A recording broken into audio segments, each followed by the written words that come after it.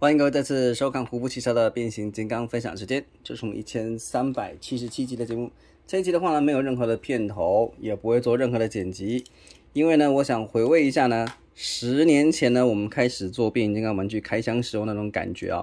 那个时代的呃变形金刚的这个玩具开箱的话呢，大家都是呢，啊，可能用相机啊，或者是呃 DV 啊什么录完之后，然后就丢上去了，很少有人呢，啊，可以编出什么主题曲啊什么的啊。哎，讲到好像我自己很厉害一样啊！啊，其实呢，早期呢，大家做变形金刚玩具的开箱啊，真的都是同好之间的一种交流讯息的分享了啊。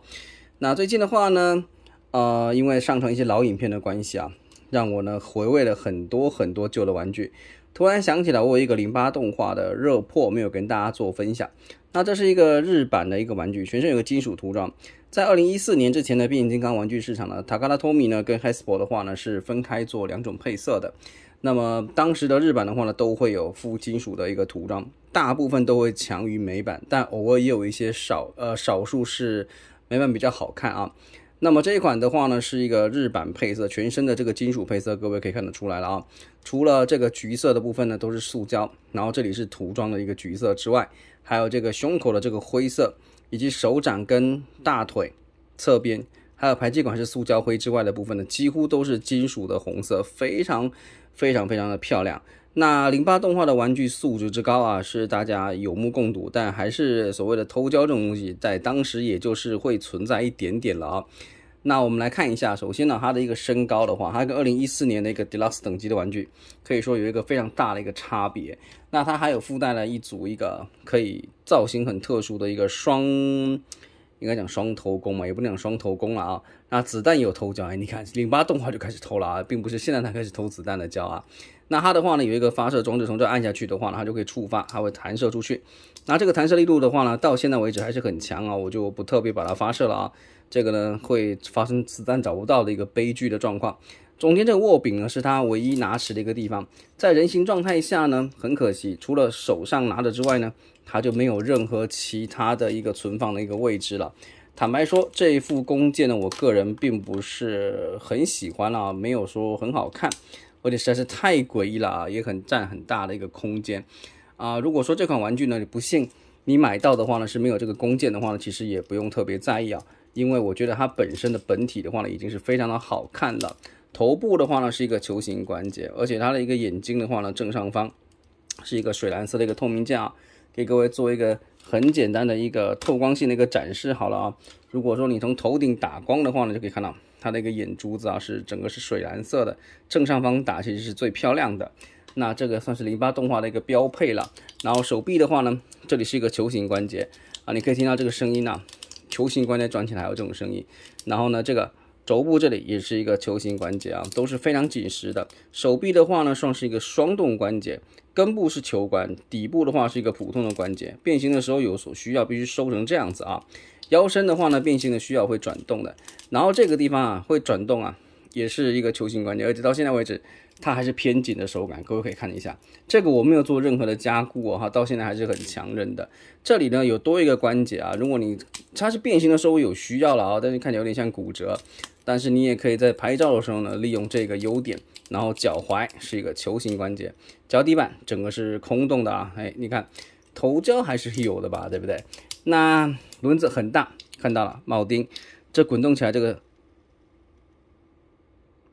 你滚的也太久了吧啊啊，非常好看，背包整个几乎就是没有，非常高素质的玩具。零八动画的话呢，各位有兴趣的话呢，可以去补一下番啊。那我自己的话是没有时间看啊。呵 呵那我们就来进行它那个简单的一个变形过程。首先的话呢，我们先把这个呃手臂啊做一个简单的缩短，把这个地方这个形状呢给缩出来，旋转一下，往上顺着往上推就可以了。顺着往上推，把这个地方好，顺着往上推。那接下来的话呢，我们进行一个腰部可以旋转一百八十度没有关系。再来的话，我们把前胸后背给解开。前胸后背解开的，它的一个肚子这里是没有卡扣的，其实这里没有卡扣，它是扣在这个地方。那我们把这个地方给打开，看到吗？这里是打开。然后的话呢，整个背后也先推到后面去好了。然后呢，把这个头部翻折过来，翻进去，这个地方盖板盖上就可以了。再来的话呢，我们把这个地方给解开。这个地方它是有一个结合卡扣的，也就是说呢，它的一个手臂呢，在跟身体结合的时候呢，是是扣这个地方往外掰出去就可以了。热破的头的话，建议是把它给摆正啊，摆正。好，到这边，接下来的话，我们把脚的话呢，你可以暴力一点的一个变法啊，不对，先把这个这个地方轮子先翻出来，翻出去，然后呢，这个引擎盖一样把它给翻出去啊，翻出来之后呢，它的这个地方就会变成是如实的慢。再来的话呢，我们这里的话，这个结合卡扣就出来了。脚的话呢，你可以就是腰部这个地方往下拖一点点，脚直接往外掰，然后脚底板打平之后。它这里的话呢是有一个转折的关节，要把它稍微的往内折一点点，然后就可以把这个脚啊从这从这个地方把它给扣上去。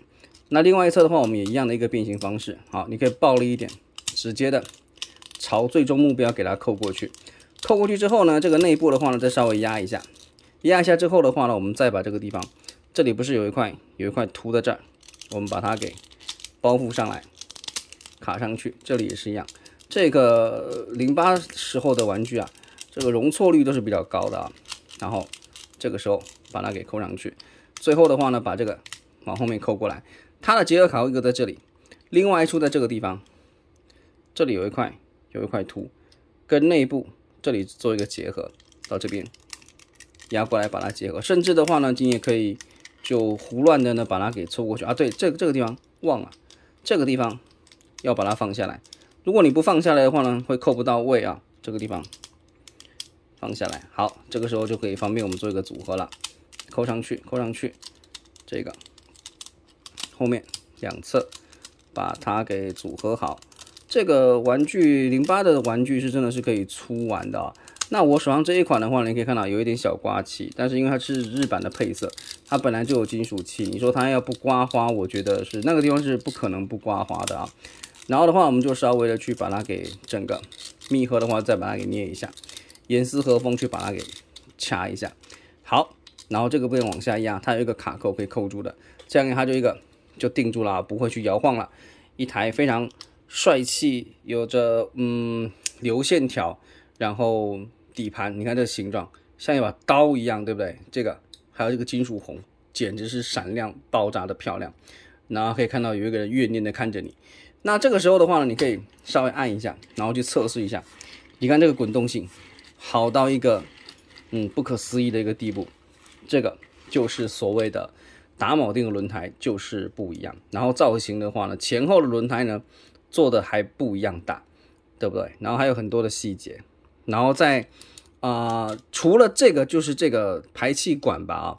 它是一个塑胶色之外，如果这个地方还是电镀啊，那这个玩具就真的是漂亮到一个炸掉啊。那这里也是比较可惜，反正这灰色的塑胶都是比较可惜，其他地方几乎都是一个金属的一个配色。好，那嗯，最后就剩这个武器。这个武器的话呢，这里有两个凸，可以把它扣到这个上面，但是扣上去之后啊，是不会不会比较好看的，不会比较好看的。这个也是我说呢，如果说这款玩具你收到的时候呢，啊，缺了这个。弓箭的话啊，价格不是太高的话，我觉得可以入没有关系啊。那这个的话呢，就是零八动画片的一个 Hero 一个热破，跟大家做一个非常简单的一个分享。谢谢各位这一集的收看，我们下期再见，拜拜。